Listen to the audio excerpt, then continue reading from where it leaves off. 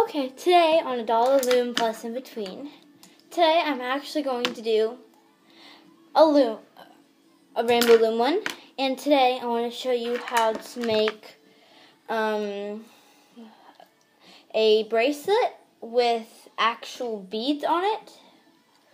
So you're going to need as much colors as you want for the rainbow loom,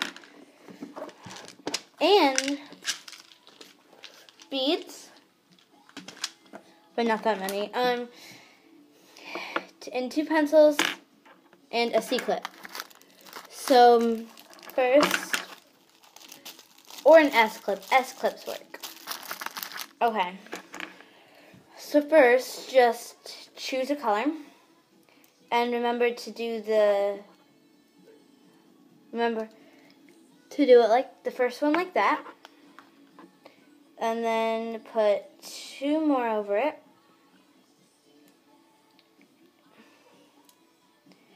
And then do that for a couple more times.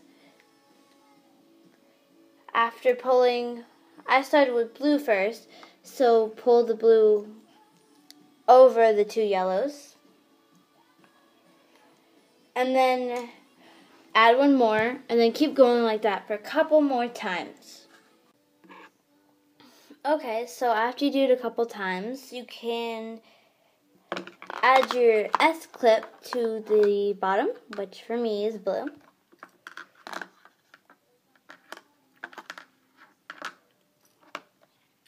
And just clip it on and let it let it hang. And then we're going to pick a bead. So I'm going with this pretty blue one. And we're also going to pick a rubber band.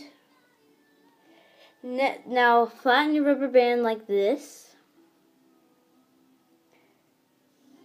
And put it into the bead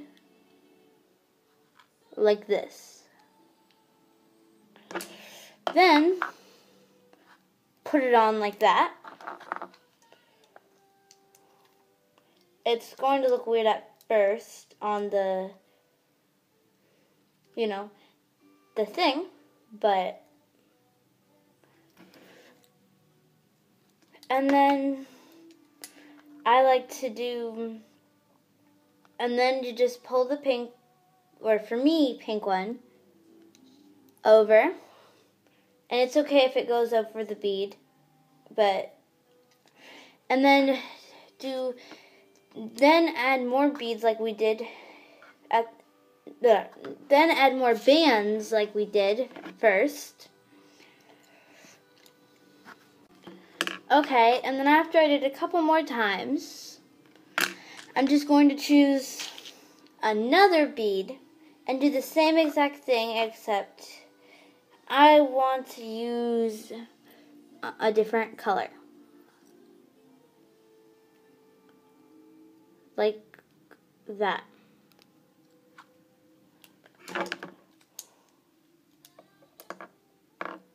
Be careful that when you're trying, you're putting it on the pencils, that the bead does not come off. That's the trickiest part. And then you just keep going, just keep repeating the same steps over and over, and you can add as much colors and as much beads and how many bands and the length you need.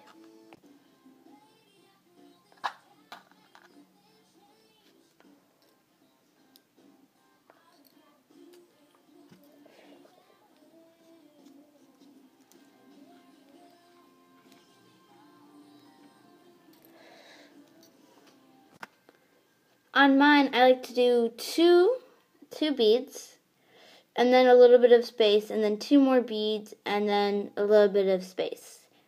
I just think it looks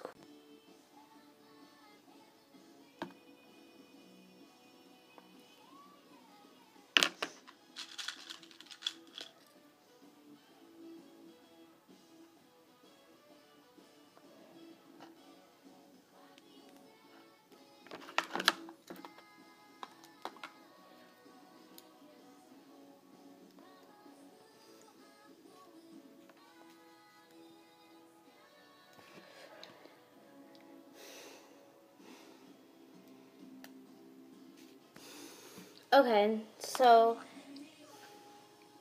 um, I'm just trying to make it, you know, the length so it can fit around my um, wrist. Almost there. So, um, in comments, please let me know what you think of this video.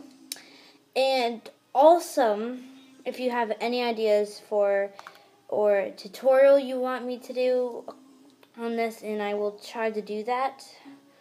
Um, I'm not the best at this loom stuff, but um, if you have any specific types of bracelets for here. So, also, for my friends here in the USA, happy Cinco de Mayo. Alright, almost done.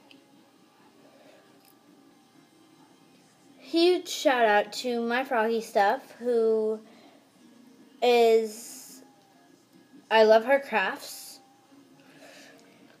She does lots of videos. All the crafts are for dolls, but they're, you know, they're still crafts and they're really fun to make if you like to do that stuff. So, shout out to my Froggy Stuff. She also has a website, by the way. YouTube channel and a website. Just look my Froggy Stuff up. Okay, so once you have it about where you can fit it on your wrist, and you have two bands left, just pull the bands over each other, like you would when you usually have three, until you only have one band left.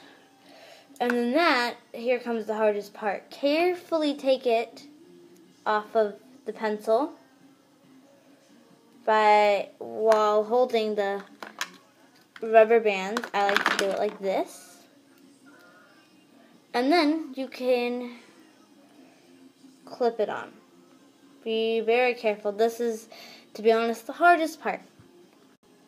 Okay, so this is how it should um, turn out. And some people I've seen, they do it with letter beads and they spell out their name. And um, hopefully I can get a tutorial on that done.